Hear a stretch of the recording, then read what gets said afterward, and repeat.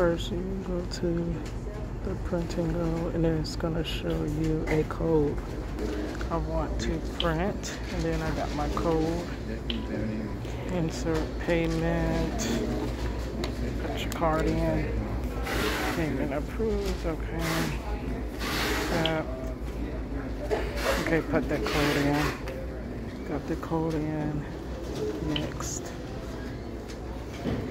Okay, my two documents, letter to warden, and our family has stayed together from 2002 to 2001 through visitations. Okay, so next. Okay, there's the letter. Okay, I just want that one in black and white and regular paper size. Okay. 18 cents for one page.